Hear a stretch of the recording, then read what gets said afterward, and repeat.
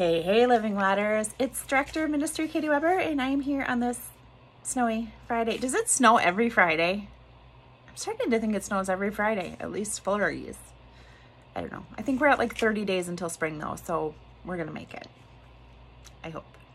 We did have fun outdoors though at the outdoor extravaganza this past Sunday. Um, we did some um, ice fishing. It was the first time for some of our kiddos out ice fishing. We were playing in the fish house. We did some um, like a boot soccer out there. That was pretty fun. Um, what else did we do? Oh, we played hide and seek in the cattails and like Marco Polo. That was really fun. I'd do that again. 10 out of 10, I would do that again. So it was very fun. I've linked some pictures below. They're also out on Facebook if you want to check them out. Um, next on my list, we have Lent starting up on um, Wednesday, March 2nd. So that's not this Wednesday, but the following Wednesday. We do have folks helping out for um, soup suppers. So soup suppers, soup suppers are a go. Um, we are doing a little quick planning meeting this coming Sunday. Um, that's February 20th, 11, like 11 to 11:20, um, and we're just figuring out who's doing what and when. Um, we do have the National Honor Society students, some of them coming in and helping serve at least for two of the Lent weeks. So that's really helpful. If you have a high school senior who is in a government class or you know of a high school senior in a government class, um, they are required to get 10 community service hours for their class. Um, I did email those teachers and let them know that this is a service opportunity for their students. And I know at least one of the teachers did put it up on their morning meeting um, board because Addison was like, Mom, you were on the. So um, we, we do offer that service opportunity for others as well. Um, but we could use one or two more adults to help. So if that's something that you're feeling called to do, um, let me know or just show up to the uh, meeting on Sunday at 11. That would be fantastic.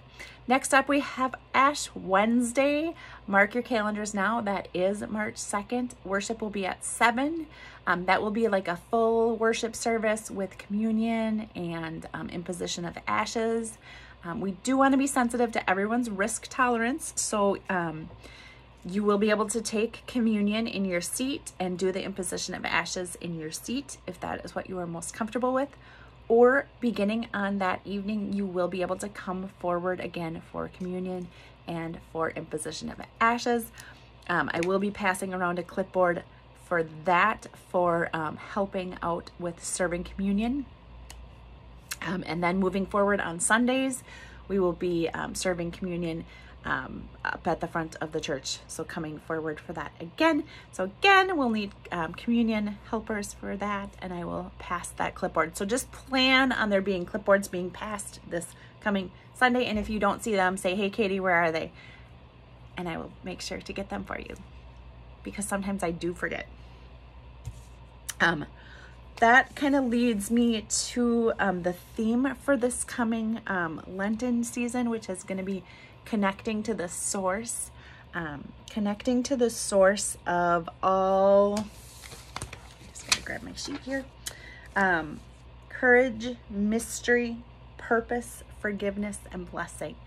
Um, so we're gonna be exploring connecting to the source, what it means to be connected to the source, um, and then really looking at our biblical responsibility um, to preserve God's creation. So I am super excited about that. I have seen the scriptures and I'm pretty pumped. Uh, I think I say that every time we do like a worship series, but I think they just keep getting better and better. So, um, and then during Lent, the Wednesday evening service will be Holden. You can plan on that service being about a half an hour, so it's not going to be the full high holy um, full service sermon, communion, all that stuff. It's going to be Holden evening prayers. Um, I know we have the piano and the flute, and it's just going to be so fantastic. So I hope you will make plans to join us. If not in person, we are going to be live streaming it. So um, hope to see see you either in person or virtually for those services. Um, what else do I know here? Mm, Vanco. So if you use the Give Plus mobile app, and I'm recording on my phone, so I can't like pull out, here's my phone, call my mouse my phone. If you use the app on your phone, um, they have, Give Plus Mobile has now changed to Vanco Mobile. So you are gonna need to download the app. The instructions are below in the eBlast. Um, and I think there's a note about it in the bulletin too. Uh, yes, so there's instructions in the bulletin too. We have until April 30th before the um, Give Plus mobile app is officially being sunset, so no longer supported. Um, but we do want to go ahead and do it as soon as possible. So if you do use Vanco for your online giving, um, this would be an opportunity for you to um, update things. If you haven't changed your donation for um, what you pledged for uh, 2022, now would be a time to do that. Um, and this would be a place where you can do that. You would just want to go ahead and cancel your um, current giving and uh, put in a new giving.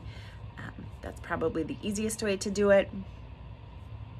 Um, if you have questions, just let me know and I can help kind of walk you through that process.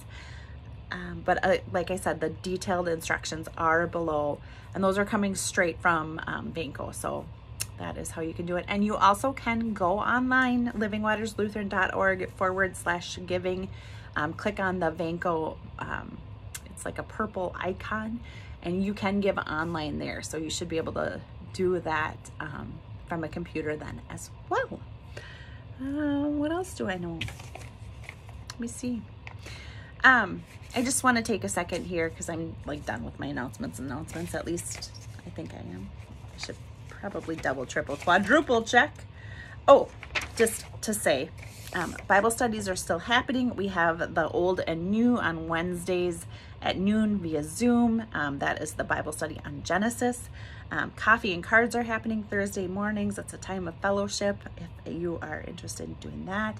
Um, we have been doing the weekly Wednesday evening Bible study, um, the Bible verse mapping stuff. We have been doing that um, via Zoom which is working out surprisingly well. Um, so all of those things are still happening.